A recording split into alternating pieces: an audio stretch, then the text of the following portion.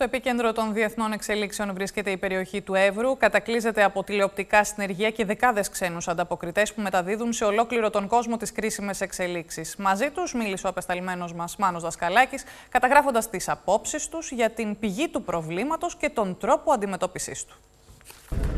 Στο επίκεντρο του διεθνούς ενδιαφέροντος βρίσκονται οι εξελίξεις στα ελληνοτουρκικά σύνορα. Εκτός από τους δεκάδες χιλιάδες πρόσφυγες στην περιοχή πολιορκούν κυριολεκτικά δεκάδες δημοσιογράφοι με τεχνικά επιτελεία από τα μεγαλύτερα ειδησιογραφικά δίκτυα του κόσμου. Ο Μάνος Δασκαλάκης και ο Νίκος Εργαζάκης που καταγράφουν τις εξελίξεις στον Εύρο μίλησαν με τους ξένους ανταποκριτές που έσπευσαν στην Ελλάδα και μεταδίδουν τα γεγονότα σε όλη την Ευρώπη, τη Ρωσία αλλά και την Αραβική Χερσόνησο. I think that's uh, EU, EU border.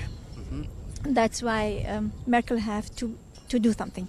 Η Αλά Σαλή από την κουρδική τηλεόραση που έχει καταγράψει την πορεία δεκάδων χιλιάδων προσφύγων από τη ζώνη του πολέμου προς την Ευρώπη μιλά για την ανάγκη των προσφύγων από τη Συρία και το Κουρδιστάν να ζήσουν ειρηνικά. Αναγνωρίζει ωστόσο ότι οι άνθρωποι που συνάντησε στην άλλη πλευρά των συνόρων πριν περάσει σε ελληνικό έδαφος είναι μετανάστες και κυρίως προέρχονται από το Αφγανιστάν. They live in war.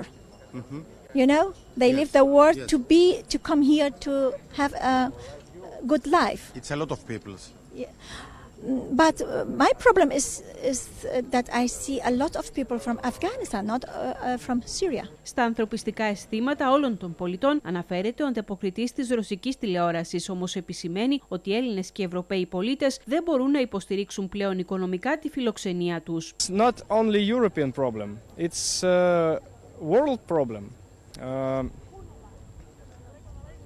on, on the other on the one hand, we must to um, help these people. On the other hand, uh, Greek people, European people, um, somehow must to pay for for for them, for for they for, for they living here, for for healthcare. Όσο για την εμπλοκή Ρωσίας και Τουρκίας στη Συρία, ο ίδιος αναφέρεται στην ανάγκη εξέβρεσης πολιτικής λύσης. It's a very complicated uh, situation, political situation, but I think uh, our leaders uh, will find the solution.